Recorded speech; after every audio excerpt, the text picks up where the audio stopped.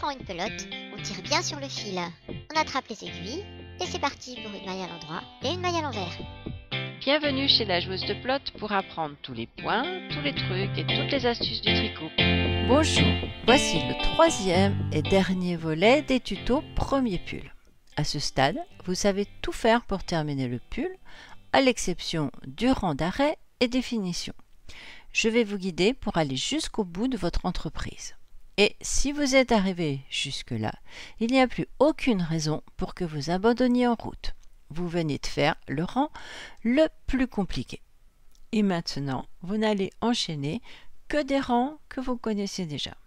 Faites 4 rangs de point mousse, c'est-à-dire 4 rangs pendant lesquels vous ne tricotez que des mailles en droit, que vous soyez sur l'endroit ou sur l'envers. Puis, on change à nouveau de point pour faire du jersey. 8 rangs de jersey. Pour le premier rang de cette nouvelle bande, vous êtes sur l'endroit, vous tricotez en maille endroit. Pour le deuxième, vous êtes sur l'envers, vous tricotez des mailles envers. Et vous alternez rang tricoté à l'endroit, rang tricoté à l'envers. Vous l'avez fait pour cette grande portion. Et pour terminer, on va alterner du point mousse et des rangs de mailles allongées. Je vous guide. Ici, 6 rangs de point mousse, puis les deux rangs spéciaux. Le premier en maillant droit mais en basculant le fil devant entre chaque maille et le second en maillant droit en laissant tomber le brin en plus entre chaque maille. Pour avoir l'explication détaillée de ces deux rangs, n'hésitez pas à vous repositionner sur la séquence. Puis 4 rangs de points mousse, 2 rangs spéciaux, puis à nouveau 4 rangs de points mousse, 2 rangs spéciaux et pour finir 8 rangs de points mousse. Et nous voici en haut du pull. Il faut maintenant bloquer toutes ces mailles, les arrêter. On va donc faire un rang d'arrêt. Je vais vous montrer une technique où l'on rabat les mailles. Pour commencer, tricoter deux mailles à l'endroit. Et vous allez faire passer la première maille par-dessus l'autre. Vous la soulevez avec la pointe de l'aiguille gauche. Elle achevale la maille et passe au bout de l'aiguille droite. En quelque sorte, elle tombe, mais elle est bloquée par la maille qui reste sur l'aiguille. Vous n'avez plus qu'une maille à droite. Vous en tricotez une autre, toujours à l'endroit. Et avec ces deux mailles, vous recommencez à rabattre la première maille par-dessus la seconde vous retricotez une maille et vous rabattez la première. Vous tricotez une nouvelle maille et vous rabattez la précédente. Vous allez faire ça jusqu'au bout du rang. Tricotez très souplement. Si vous serrez trop, ici, ça ne sera pas élastique. Il ne faut pas non plus que ça soit trop lâche, sinon le rang va godailler. Et c'est une partie très visible de votre pull, car c'est l'encolure qui se forme ici. Essayez d'être le plus régulier possible dans la tension que vous donnez à votre laine. C'est facile à dire, mais si c'est votre premier rang d'arrêt, ça n'est pas si facile à faire. Mais ça viendra avec l'habitude. Tout à la fin du rang, il ne vous reste qu'une seule maille. Coupez alors le fil et faites-le sortir de la maille en tirant votre aiguille vers le haut. Et voilà le premier côté fini. Il faut maintenant faire le second. Vous allez refaire exactement la même chose, car dans ce pull, le devant et le dos sont identiques. Et lorsque vous aurez fait les deux côtés, vous allez pouvoir tricoter les manches. Je vous explique maintenant ce qu'il va falloir faire. C'est quasiment la même chose en plus petit. Mais la manche n'est pas tout à fait rectangulaire, elle s'évase un peu vers le haut. Ce qui veut dire qu'à espace régulier, vous allez rajouter des mailles. Vous allez voir, ça n'est pas difficile. Vous commencez par monter 30 mailles.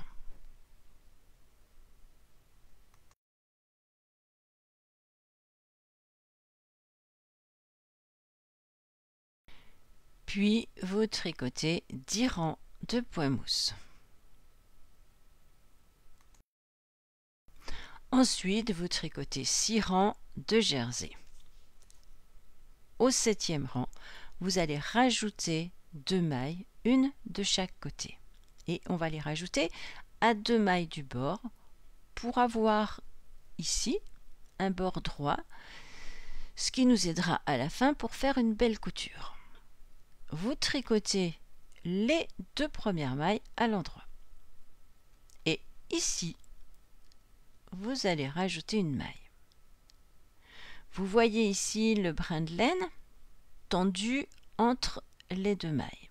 Soulevez-le par l'arrière avec votre aiguille droite, puis faites passer votre aiguille gauche sous le même brin et devant l'aiguille droite. Vos aiguilles sont croisées, votre fil est derrière et vous tricotez comme pour une maille en droit. Faites votre jeté, ramenez-le sous le brin ou plutôt au travers de la boucle que forme le brin. Une maille supplémentaire vient d'être tricotée.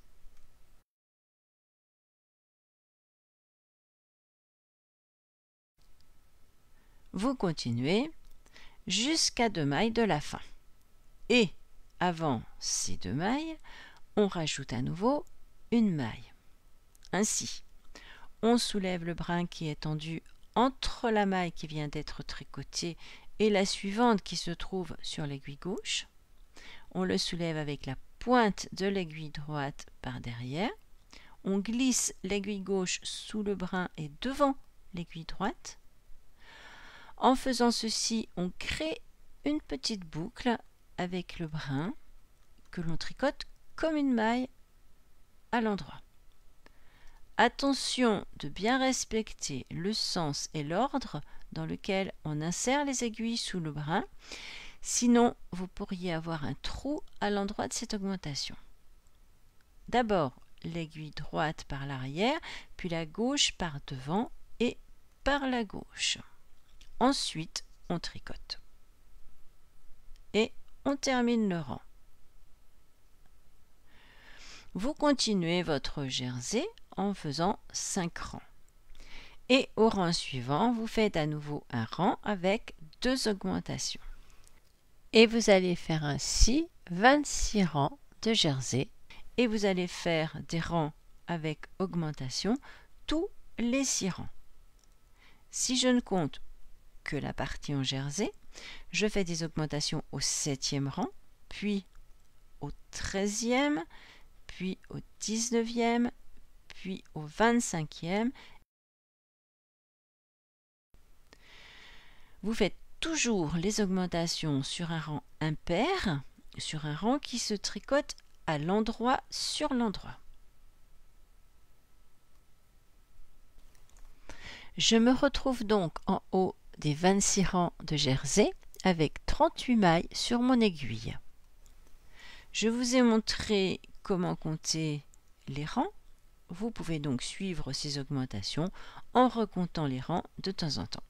Mais si vous trouvez cet exercice trop fastidieux, vous pouvez vous équiper d'un compte-rang. Il en existe de toutes sortes. En bague, à mettre sur une aiguille ou autour du cou ou à poser tout simplement. Ensuite, vous faites une bande fantaisie de 6 rangs de poids mousse deux rangs spéciaux et quatre rangs de points mousse. Puis vous tricotez 14 rangs de jersey dans lesquels vous allez encore répartir 4 augmentations au 7e et au 13e rang de cette bande. À l'issue de cette bande, vous obtenez donc 42 mailles. Vous faites 6 rangs de points mousse et vous arrêtez en rabattant les mailles. Votre première manche est terminée. Vous en faites une seconde à l'identique. Et pour terminer, un peu de couture. Et vous pouvez utiliser directement les fils d'échangement de pelote sans les couper, ce sera d'autant plus solide. Vous allez fermer votre pull en cousant les épaules. Vous faites une couture sur 16 cm de chaque côté. Vous fermez vos manches.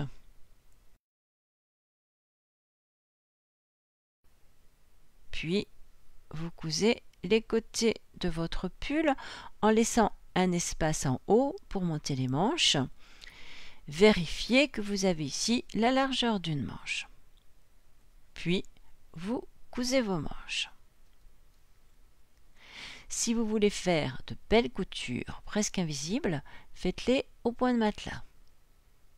Comme j'ai fait une vidéo sur ce sujet, je ne vais pas tout reprendre ici. Alors, si ceci vous intéresse, vous pouvez aller visionner ce tuto. Après tout ça, il reste quand même des fils par-ci par-là. Ne coupez jamais un fil à ras, tout se détricoterait. Il faut au préalable le rentrer. Là aussi, pour savoir en détail comment faire, je vous invite à visionner mon tuto sur la technique pour rentrer les fils. Pour ce pull, on a fait tous les changements de pelote en bout de rang. Tous les fils qui restent se trouvent au niveau des coutures. On peut donc tout simplement les faire rentrer dans le bourrelet de la couture sur une bonne longueur pour que ça soit solide. Et vous coupez l'excédent. Donc, si vous avez tout suivi, si vous êtes arrivé au bout, vous voici comme moi avec votre pull. Tout d'abord, félicitations. Envoyez-moi la photo de votre œuvre, j'en serai ravie. J'espère que ce tuto vous a plu. Si vous poursuivez le tricot après ce premier pull, vous pouvez farfouiller dans le stock de mes vidéos pour apprendre beaucoup d'autres choses. Le tricot est plein de ressources merveilleuses. Je vous remercie de votre écoute et à très bientôt.